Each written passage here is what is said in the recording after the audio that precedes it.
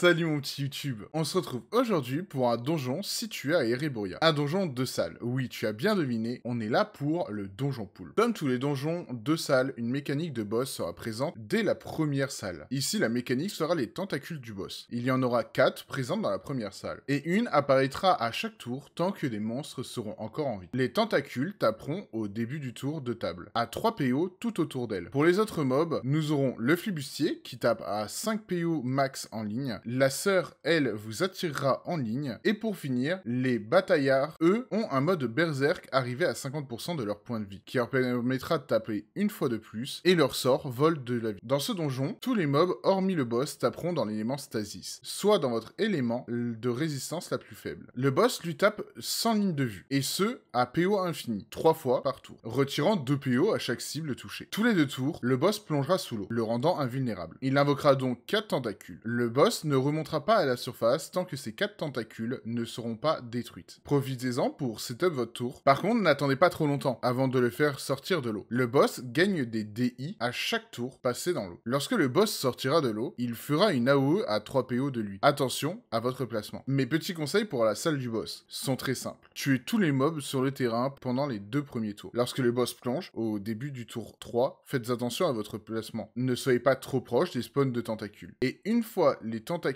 spawn, gardez-en une, le temps de setup votre tour. Et tuez le boss dans les deux tours qui suivent la, sa désinvue. Sinon, il faudra recommencer. Au niveau des loots, vous avez pas mal d'items intéressants sur le poulpe, comme le haillon en mousse ou même le short abandonné. Et sur son équipage, vous retrouverez la chemise de pirate principalement. Le donjon, dans sa forme la plus simple, est fini ici. Mais il y aura une autre mécanique dont on doit parler. En rentrant dans la salle du boss, il y avait une stèle qui vous attendait. Elle vous permet d'invoquer Sir Momor en échange d'une clé d'intervention craftable par un ébéniste 35, d'une valeur marchande actuelle de 35 000 kamas. Ce qui vous fera un combat avec non pas un seul et unique boss, mais bien deux. Ce boss aura peu de PM et tapera en stasis. Il aura aussi trois sorts bien distincts. Fatalité, une AOE à distance lancée sans ligne de vue en croix. Aspiration d'âme, une AOE autour du boss, qui retire 3 PM à tous les ennemis collés à lui, tout en augmentant définitivement tous les dégâts qui seront pris par les joueurs touchés par cette AOE. Et pour finir, Brise Lame, une attaque en ligne tapant tous les individus en ligne de 5 PO. Ce boss a plus de PV que le pool, mais fait aussi beaucoup plus de dégâts. Ici, deux solutions s'offrent à vous. Votre team vous permet pas de tuer le boss dans les deux premiers tours, alors ne changez pas de vos habitudes. Vous faites d'abord les ZAD, puis vous vous occupez de Sir Momor, pendant que le boss lui passe en phase 2, et devient donc invulnérable. Pendant que vous faites Sir Momor, en respectant ses mécaniques, pensez simplement à regarder les zones safe des tentacules, et tuez donc Sir Momor. Une fois cela fait, vous tuez les tentacules en préparant votre setup pour tuer le poulpe. Autrement, la seconde méthode serait de d'abord focus le poulpe, puis tuer les ZAD et enfin tuer Sir Momor, ce qui vous évitera une invulnérabilité de la part du boss. Sir Momor vous rajoute des loots supplémentaires, d'où l'utilité de lancer le combat avec un boss en plus. Vous obtiendrez obligatoirement un fragment de Sir Momor par personnage présent dans le combat, et la possibilité de loot l'armure ankylosée d'une valeur de 50 000